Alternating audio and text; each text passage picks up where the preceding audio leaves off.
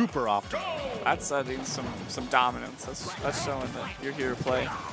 You know, the thing is, though, we were talking about how, oh, on paper, this should be really good for Pokemon Trainer. But if there's one thing about Lucario, paper is is not legal tender. Yeah. Doesn't matter how good your matchup is, sometimes it just it doesn't work. I mean, how is any matchup good if you die at 40? Exactly. Yeah, he's one of those characters that just you never feel safe. You're never like, oh yes, I can find Lucario. Oh, I'm fine. I'll, I won't feel scared. You'll always feel scared versus this character, even though they are not as dominant as they were in four.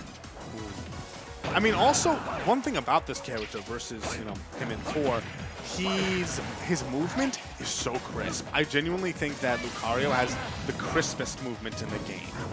Yeah, there's definitely gonna be an argument for that. And catching him dropping shield, I think, that up Yeah. smash is going to be ending his stock, which is a huge relief. When you take a Lucario stock, especially when it's relatively low percent like that, you're just happy. You're like, finally, I can play the game without... Squirtle's so tiny. Oh, and Squirtle's so tiny. Exploded. Yeah, um, a situation like that is really where you want to be. It's uh, kind of a bummer for Bankai. They got caught with that back air because that could have been a huge lead extension. Great, great DI from Vivi knowing that that could potentially have been the stock.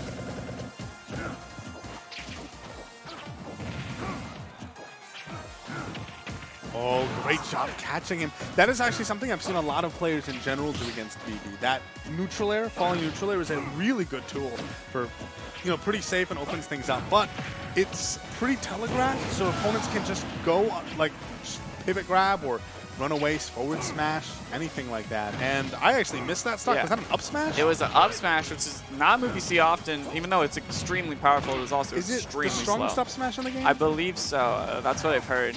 But um, getting a roll read right there with Ivysaur's up smash, that took the stock at a pretty early percent, especially for Lucario. I don't think you should be Squirtle for very long. We were, do you remember what happened last time you were Yeah. Squirtle when he had a stock lead? Right now, 69 isn't too scary, but um, once you get your damage, you should definitely get out of there. yeah. Oh, maybe he wants to get what I was talking about. He wants to go forward air, forward air, up B off stage. I respect the attempt, but yeah, he's going to get out there with Ivysaur. And now this is scary for Lucario because one more up air and he's at kill percent. And now this is even scarier for him.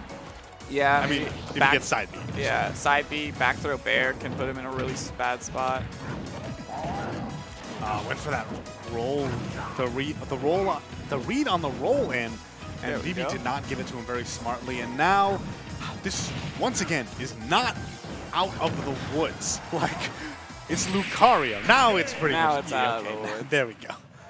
A bit of a commentator's curse there, but it's okay. It's not a commentator's curse. I'm setting the audience up for all expectations. It's true, it's true. Because, yeah, it, it really is the case. If Vivi took that stock there, that was scary. 100% Lucario, you can just, um, you can die really quickly. Oh, one, yeah. one combo into a back air, and that's the stock. And I mean, we haven't really seen any super hard reads like a forward smash or anything connect yet, but a for, like the Lucario forward smash wins sets.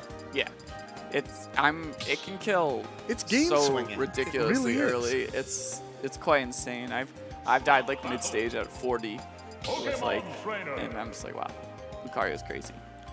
So yeah, um, he needs some of that Lucario magic for this next game. Oh, Um, maybe he's not actually. Or- he's he's pondering this. He's really thinking about it. Do you think we're gonna see the Incineroar? I have seen this Incineroar do some pretty good work.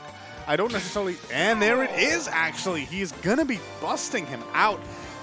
Uh, a character similar to Lucario in that he kills you at 40 sometimes, uh, but doesn't have to worry about the fact that you know Pokemon Trainer's kill power is so consistent.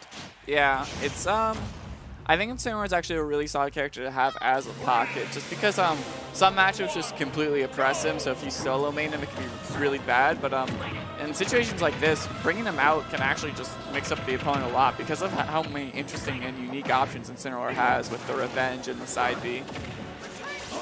But maybe Yeah. uh, we're hold- well. Okay, Incineroar took 70. That's just normal for Incineroar. That's that's that's step one. Yeah. step one, take 70 percent. Step two, question mark. Step three, revenge.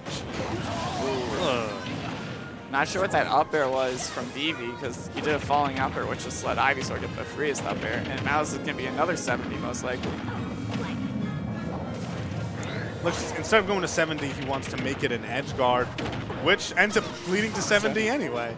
And now he's on Ivy, and this might be a rinse and repeat unless he gets something. Yeah, he counterpicked to the stage, which is interesting just because of the fact that Ivysaur up air and Incineroar is a character that already struggles to land. Yeah, I also don't know what Incineroar really benefits from the stage either. Like, I guess pressuring people on landing, but as a character as slow as Incineroar, it can be really hard if a Bankai decides to camp him out. Like, I don't know what he's going to do. Ooh, but look at that micro spacing. Maybe he's starting to find his footing finally. If he can close out this stock, which he does, go. now this is not an unreasonable position.